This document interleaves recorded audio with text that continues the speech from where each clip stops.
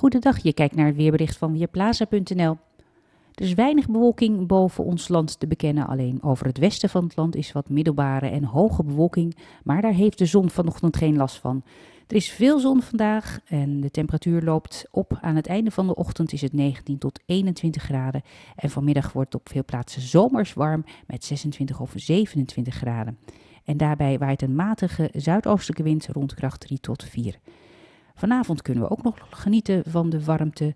Rond zonsondergang ligt de temperatuur tussen de 20 en de 22 graden en het blijft vanavond droog. En ook morgen is het een mooie zomerdag met veel zonneschijn. Pas aan het einde van de dag, in de avond, trekken van het zuiden uit regen- en onweersbuien over het land. Maar in het noorden blijft het waarschijnlijk de hele dag droog. En met 24 tot 26 graden is het weer zomers. Begin volgende week is het erg wisselvallig en het wordt ook minder warm met 19 tot 22 graden. Er staat veel wind en elke dag vallen geregeld buien. De eerste dagen met kans op onweer. Ik ben Diana Boei van Weerplaza.nl.